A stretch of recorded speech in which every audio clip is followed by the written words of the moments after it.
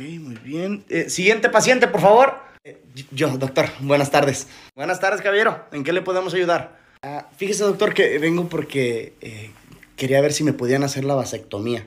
Ah, sí, sí, sí, sí, podemos realizarle eso aquí, pero ya, ya lo pensó bien, ya lo meditó. ¿Está seguro usted de eso? Eh, sí, sí, sí, de hecho estamos 100% convencidos. Eh, de hecho, mi esposa fue la que me dijo que, que sería lo mejor para, para, nuestro hogar que lo hiciera.